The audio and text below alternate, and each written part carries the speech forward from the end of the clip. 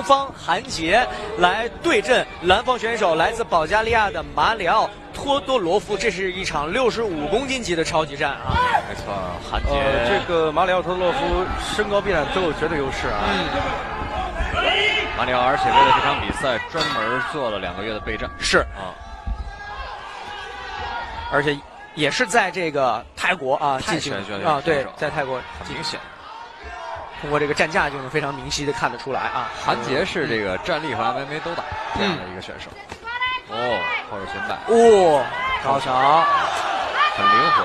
韩杰的这个比较大的问题就是他的体能，嗯到了二回合后段的时候，他能不能扛住嗯？对，因为他现在的训练一定是不系统的哎，没错嘛，他有很多个身份嘛，要推广，要当拳馆教练。嗯，就是没办法，韩杰后视频前的你，如果在男性持久力、勃起硬度等方面不满意，现在就加郭老师微信三五八幺六三三七九，让郭老师帮助你持久坚挺，延时二十到四十分钟，补肾壮阳，延时助勃，增强夫妻性生活，二十八天彻底告别快男软男，做回自信的自己。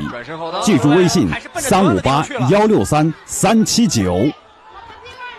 哇，扛不住了，扛不住了，扛不住了，又累又累，哇！啊，对方觉得没什么问题，但是对方的右肋现在已经是短板了。对。你可以看得到，这个托托罗夫现在右右手的手肘紧紧的夹在那儿，保护着这个地方啊。对，那个地方不光是软肋，还有肝部啊。对这个不管打到哪个位置都是剧痛，而且能瞬间失去运动能力。对，韩杰继续，韩杰还是哇，瞄的很准，哇，哇，这一腿撩的太准了。